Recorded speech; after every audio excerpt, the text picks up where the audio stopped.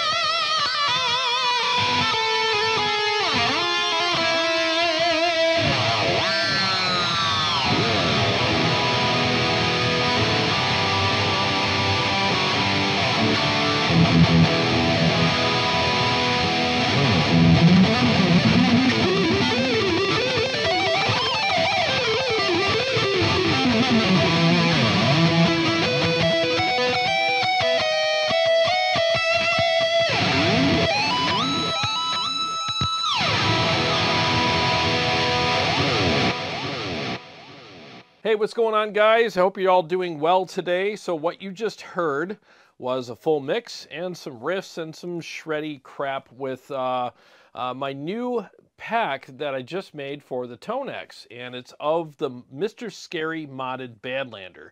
And the link is below in the description if you want to get that for your Tonex pedal. I also did the same captures for the Quad Cortex and there's a link in the description for that as well. So whether you play Quad Cortex or Tonex, you can get these for either one of those units, and uh, I really think you're going to like these a lot. They came out really good, and the feel is really good on these. Really full, fat, aggressive, saturated, lots of gain, lots of awesome uh, different gain structures and gain settings for you. Now for the intro and the riffs, I use the higher gain settings on the uh, presets, but you also have presets with lower gain settings that you can choose from. So just choose the ones that work best for you. I also have dual cab captures in there. What you heard were the single cab captures, but I paired the Zilla cab with my uh, Mesa cab and some of the captures. So you have a really unique sound with the dual cabs because I'm pairing the DV77 in my Zilla with the Vintage 30 in the Mesa cab and it just makes for a really nice big sound. And man, that Mr. Scary mod for the uh, Badlander is a freaking game changer. It, it took that amp from it's about to go on reverb to putting it right back on my shelf and loving the hell out of it. That amp is amazing now. So I was glad to capture it for you guys so that you can have it for either your Quad Cortex or your Tonex pedal. And by the way, I want to thank everybody for purchasing all of the captures and presets and profile packs that I have on my website. I really appreciate you guys very much. And thanks so much for the kind words and the great feedback that I've been getting from you. All that stuff really means a lot to me, and it does help keep the lights on here on the channel because, uh, as you may or may not know, YouTube does not pay that much. So I have to do all this extra stuff just to keep things going here, and I really appreciate the support. All right, so I believe this is Riffs and Responses number 29. So uh, I wanted to start this one off a little different. Obviously, I already did that with the uh, the mix and the riffs and stuff, but I wanted to talk to you guys about something that's been kind of bugging me for a while.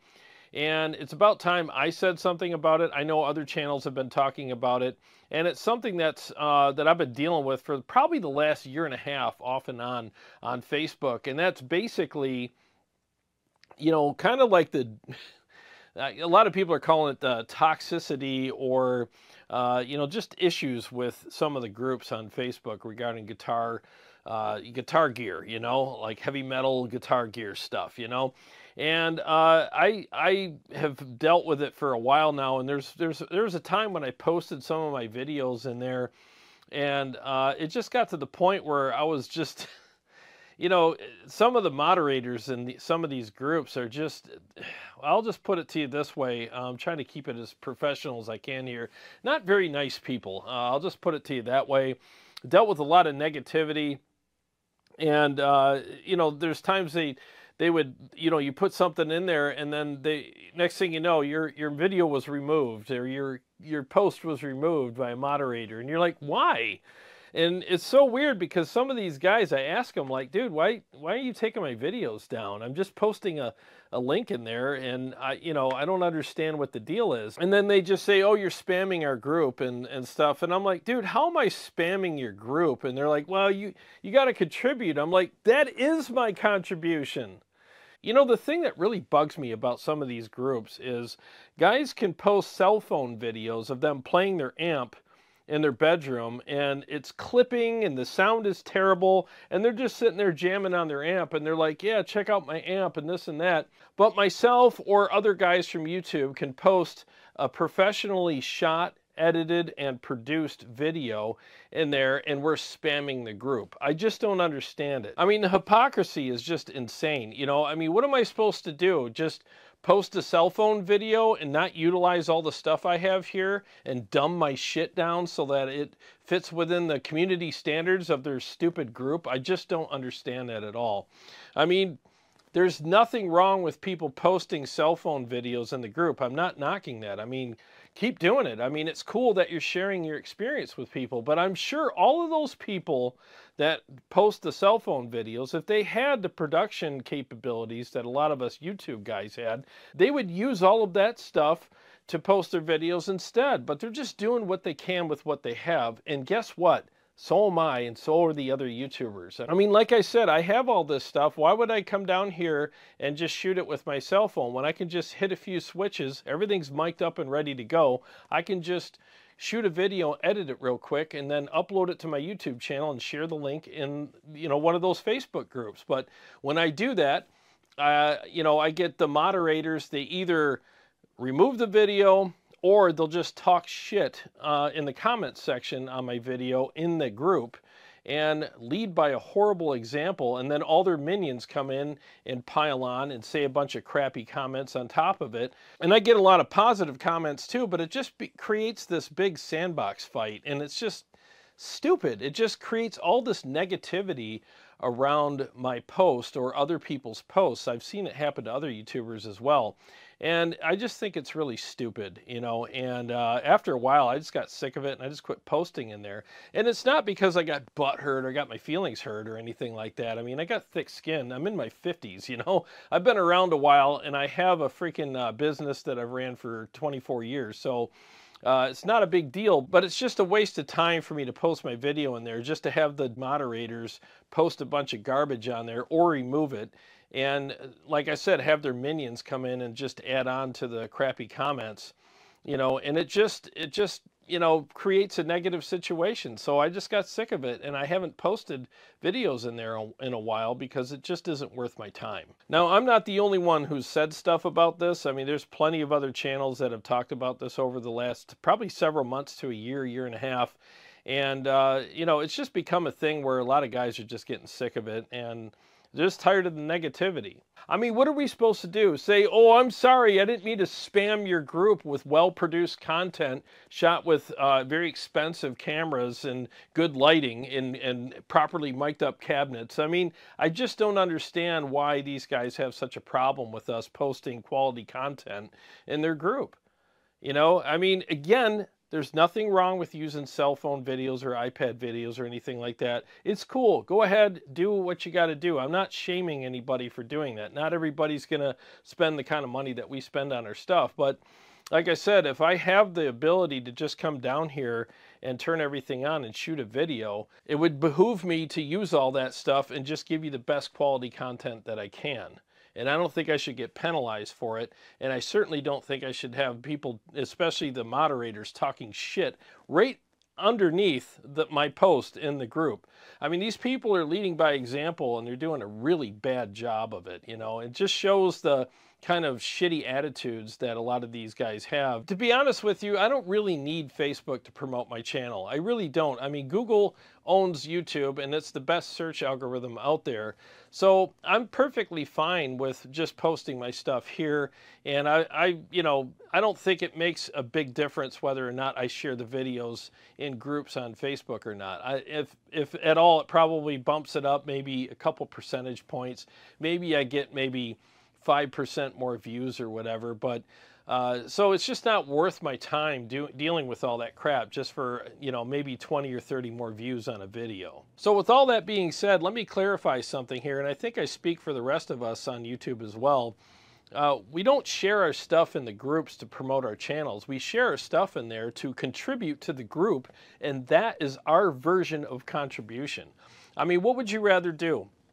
See a post from me with some words and a picture or some bedroom footage with an iPad mic? Or would you rather see quality content with all of the stuff that we use in our studios?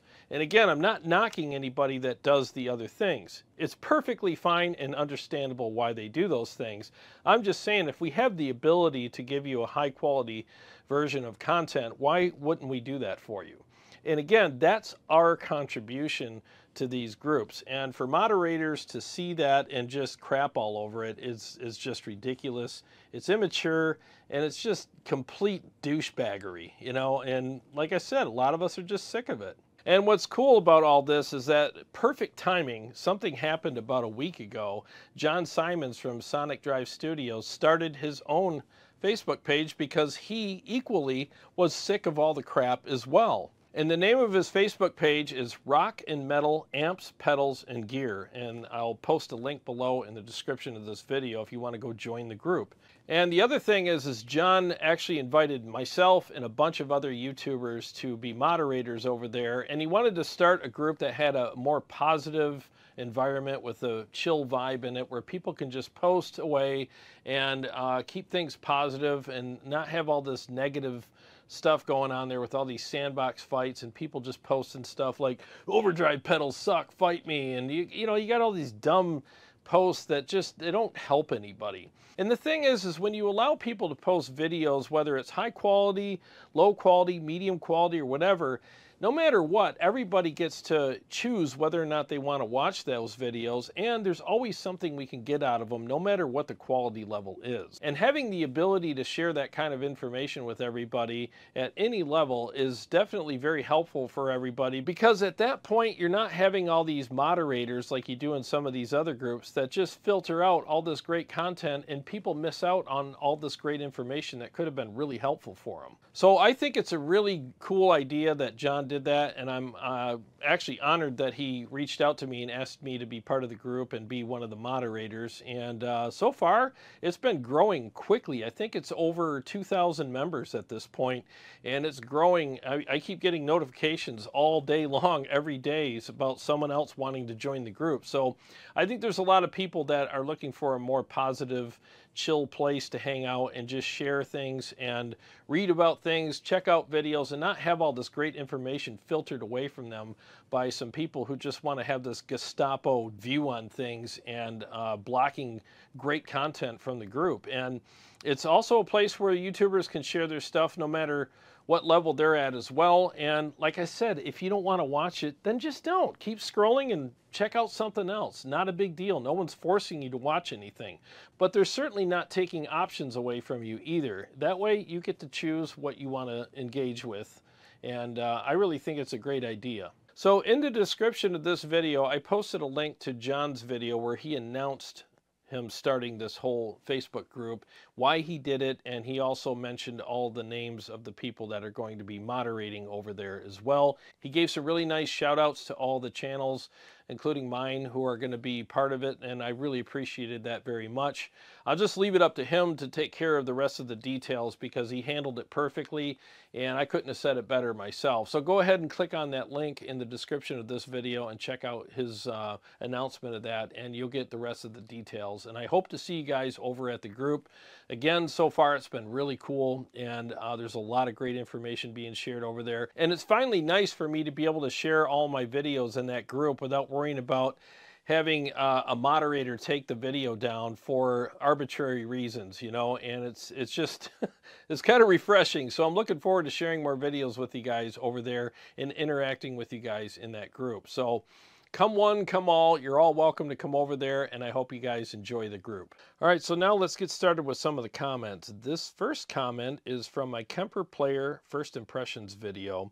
And this is from K Hall 187 he says, Too little, too late from Kemper for me. I had the stage, but ended up going QC, and it's so much more usable. Happy for Kemper, but until they work on their UX and ease of use, I don't see myself switching from QC anytime soon. Well, thanks for commenting. I really appreciate it. I'm glad you watched the video, and I appreciate you sharing your thoughts on uh, the video.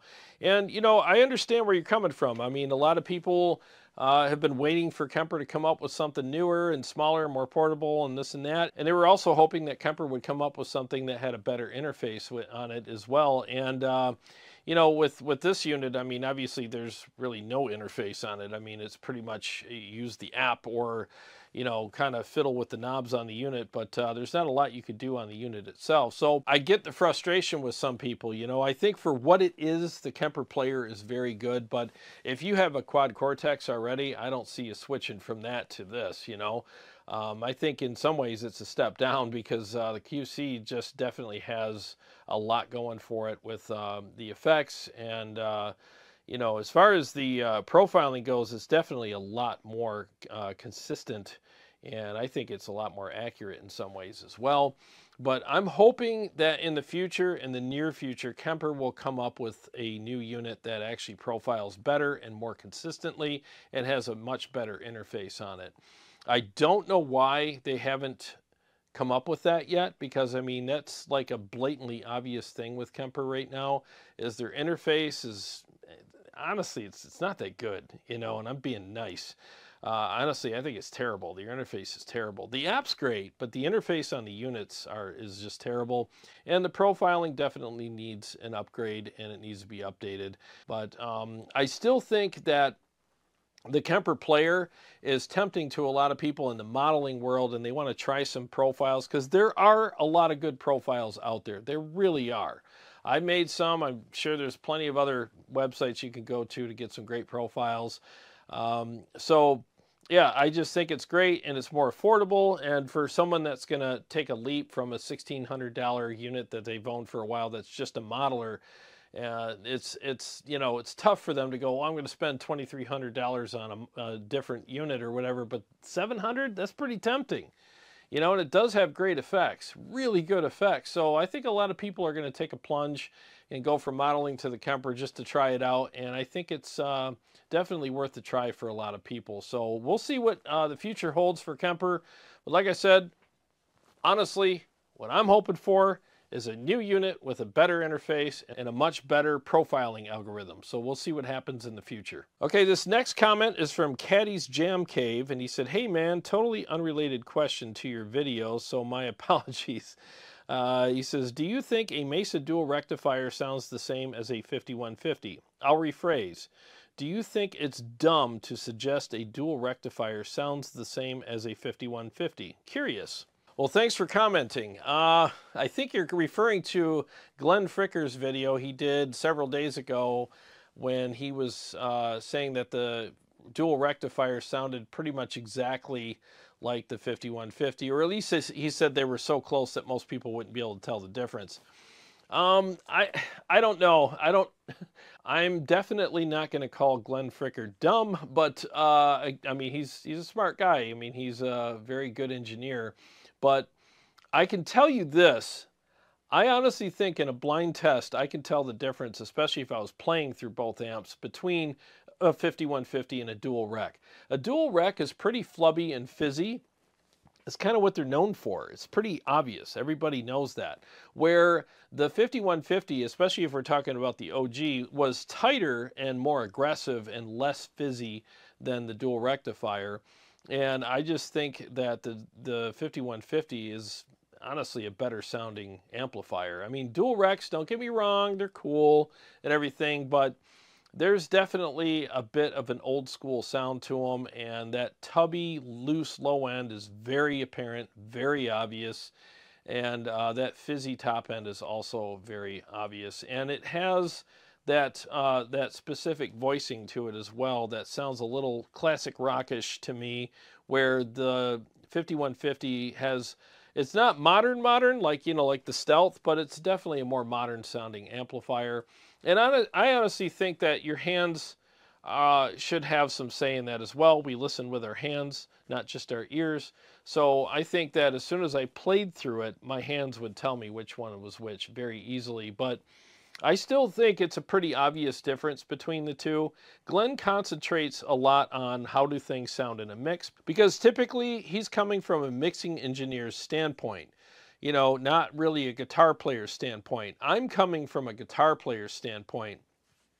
To me, I don't really care about how things sound in a mix and all that kind of stuff. All I care about is how does it sound to me in the room or mic'd up with my in-ears on and how does it feel and how does it respond to how I play and uh, how does it take a boost pedal and you know all that kind of stuff. That's what matters to me. And as long as those things work for me on an amplifier, I don't give a shit how it sounds in a mix because that's not my problem. That's a mixing engineer's problem. So as long as I have a good amp tone, not a shitty amp tone that needs to be fixed in a studio. I'm not saying that. There's a difference, you know. But if I have a good amp tone and I love how it sounds and I love how it feels, when I go in a studio and record with it, it's the mixing engineer's job to make that sit in a mix properly, but he doesn't even know what he's going to do with it until he gets down to final mix. That's when he starts kind of doing the high and low cuts and maybe pulling that 4K down in a pin drop and finding that sweet spot where it's really annoying and then just pulling that stuff down by two or three decibels and all that kind of stuff. But we don't worry about that until then. All we care about is I want good guitar tone that he knows he can work with when he, you know, does the final mix on the album. So there's two schools of thought here. He, like I said, is coming from a mixing engineer's standpoint. I'm coming from a guitar player's standpoint. So you always got to keep that stuff in mind when you watch videos that he does because that's usually where he's coming from. And I respect that. And there's nothing wrong with that. But just remember, if you're a guitar player, the main thing you should be concerned about is what matters to you. And when you go in a studio, as long as you got good tone, a guy like Glenn can take it and work, you know, with any mix as long as he's got good uh, tone to start with. So again, I think they sound quite a bit different, but I'm speaking as a guitar player, not a mix engineer. All right, this next comment is from the video I just posted the other day about uh, Kemper needs to update their uh, profiling algorithm. He says, I hate to say it, but I, I think the reason is that it can't really be done with the current hardware. He is an amazing innovator and developer and has clearly poured his soul into this effort and produced incredible updates. If it could be done, he would have already done it. So he's talking about Chris Kemper, and uh, he's saying that the uh, the hardware is the issue, and that's why the uh, profiling algorithm has not been updated because the hardware couldn't handle it or something along those lines. I don't know. Maybe he's right. Maybe he's not. I don't know. We're all kind of guessing here. But to me, it just seems like it would be a software update. You know, I mean, how come you could do a software update where you, where you get a whole bunch of new reverbs or a bunch of new overdrive pedals or, you know, even the, the modeling, you know, that he, he just put in there for the tone stack and, you know, for liquid profiles. I mean, I don't know why you can do all those things, but you can't create a new profiling algorithm that has more sounds that go through and analyzing the amp would be updated and upgraded and all that kind of stuff. I'm not an engineer. I don't know how all that stuff works, but I just think like as as a layman, I just look at it the way I, I just said. Like if you could do all those things, why can't you do this? But maybe he's right. Maybe with the current hardware, the software update wouldn't match with that and it I don't know. Maybe it wouldn't work. I don't. I have no idea. But to me, uh, the algorithm isn't hardware based; it's software based. So that's kind of why I'm thinking. I I think it can be done. I just think that Kemper has their mind on other things, other priorities. I mean, you're going to make more money by releasing a Kemper stage and a Kemper player than you would upgrading the and updating the algorithm. Uh, maybe that's the way they think. I don't think so. I think that if you update the algorithm, you're going to create a whole new uh, resurgence of the product, and a lot of people are going to either switch back to it or else be curious about it, or a lot of people might jump on board and say, finally, that's the thing that's been holding me back from buying one. Now I can get one because that cocked wah thing isn't going to happen anymore, and it's going to become a better profiling unit. It's going to become more accurate and more consistent. So I'm on board now. So I don't know. There's so many ways you can look at it.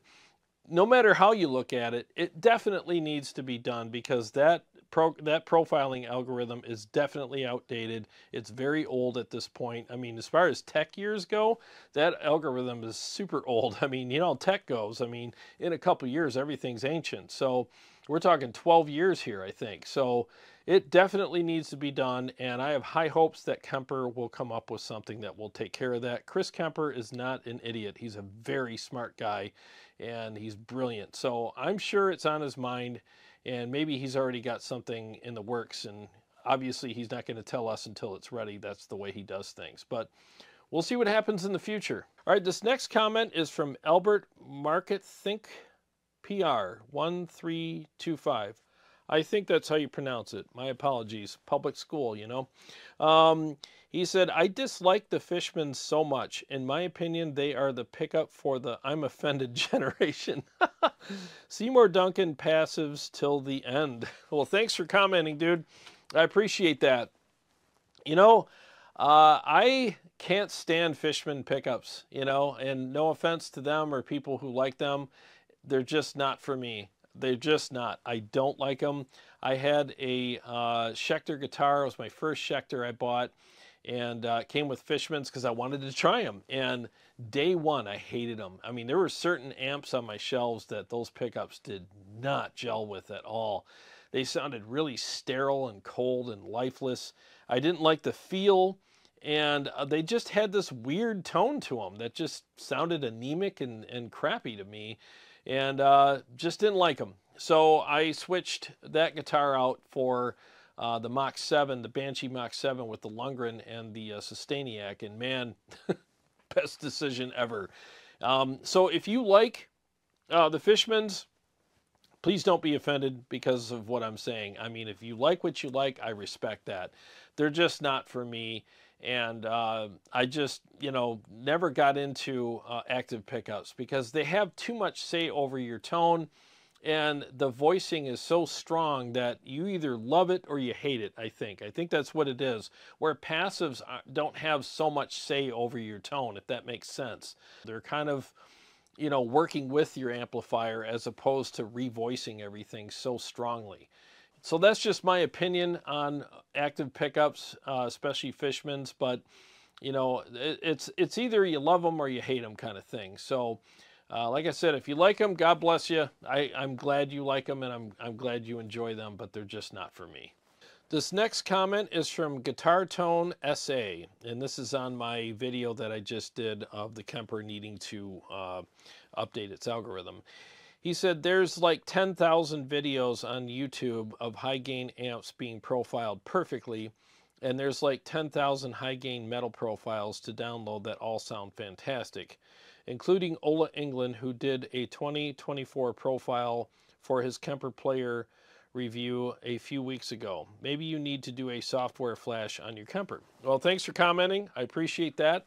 And you're right, there's a lot of great profiles of high gain amps on the, the Kemper out there. And there's a lot of them on my website too. But I not all these amps are on my website. You know why? Because it doesn't work with all of them. Hell, I just profiled my Friedman JEL on the Kemper the other night just to test some things out on it, and it had that stupid cocked wah sound to it.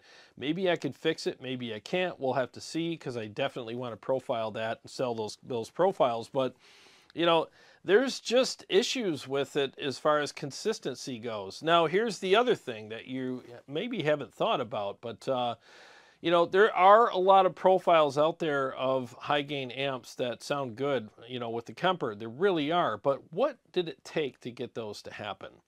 How much manipulation did people have to do regarding uh, making it work with those amps? I mean, did they have to put an EQ in the loop? Did they have to pull their hair out and figure out the perfect mic placement or this or that or just all the little things that they had to do to figure that out? And all these tips and tricks and secrets, they're not going to share that with you. They're just not, you know. Um, and I'm not going to change the integrity of the amplifier by putting an EQ in the loop so that I can profile it and have the Kemper do it right, where the, you know, the definition is in, you know, between seven and ten or whatever. You know, I'm just not going to do that.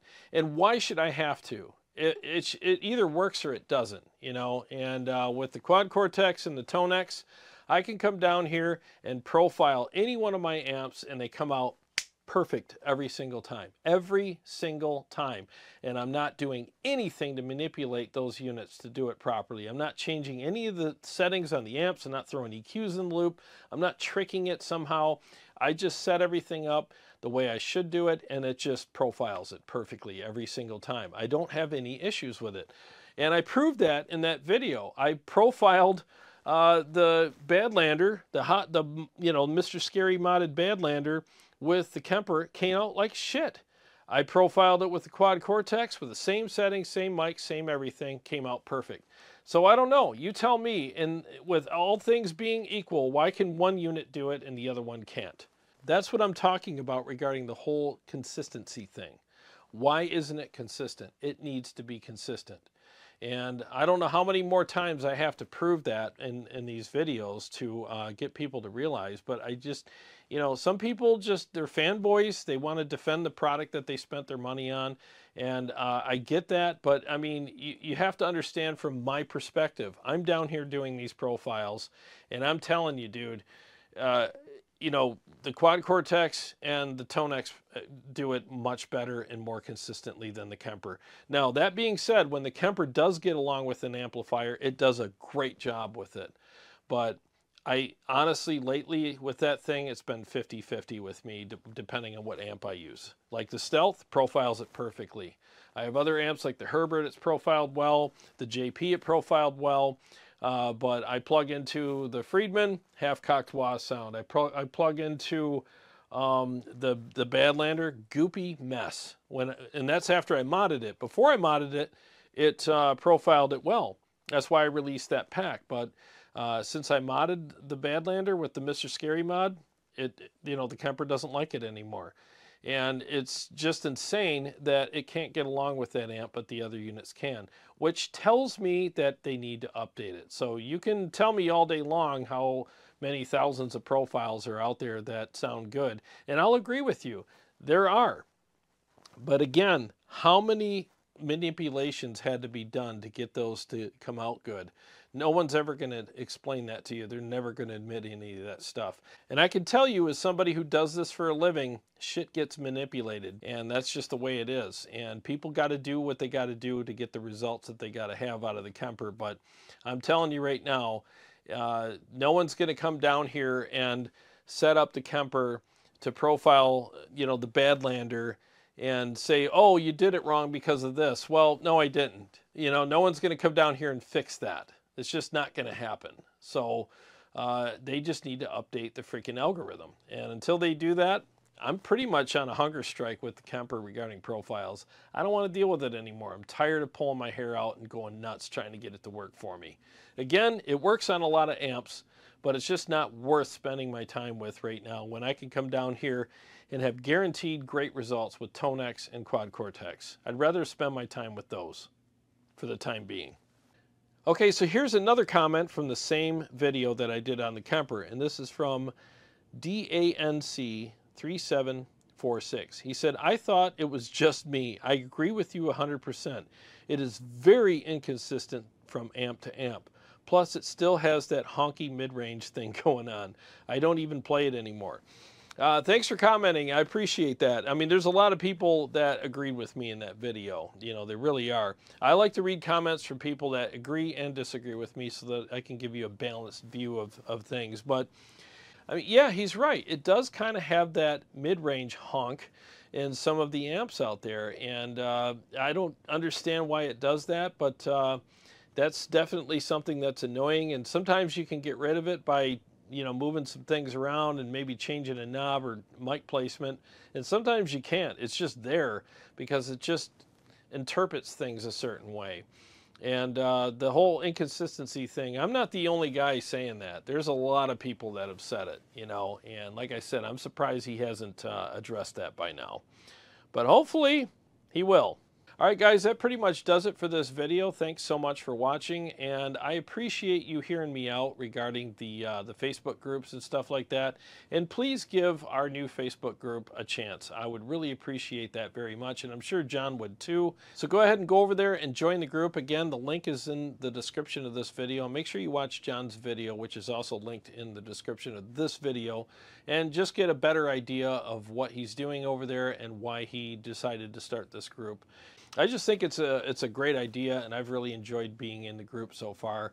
And uh, we're just going to do our best to keep it uh, a friendly place and um, a place where you can share ideas and not worry about people just talking shit on your posts. I mean, because you know the thing is, is like if that becomes a norm in a group, then people just stop posting because they're afraid someone's just going to start bad mouthing something and, and just mouthing off and just being jerks, you know, and, and nobody wants that, you know, I mean, it just sucks. And, and I, I know we're a bunch of grown ass men, but you know, it's not a thing where we're getting our feelings hurt and we're offended. It's just annoying. You know what I mean? That's really what it comes down to. It's annoying.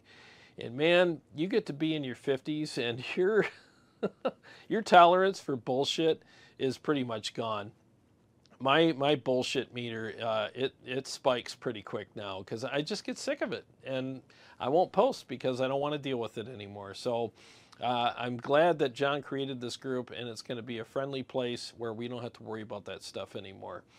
So I hope to see you guys over there. And uh, again, thank you so much to all the guys who have been purchasing the profile and preset packs. I really appreciate that. And I'm telling you guys, man, the ones I did of the Badlander for the Quad Cortex and the Tonex are special. They're really good and they're very unique and there's they're like nothing you can ever get out there. I think I'm the only one that's released packs of the modded Badlanders so far, as far as I know. And I'm telling you, you guys are going to really like these. The feel is amazing. They're so responsive. and so thick.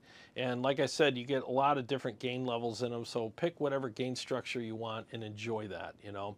So anyways, I want to thank all my Patreon supporters and subscribers. I really appreciate you guys. Thank you so much. You guys really help keep the lights on here as well.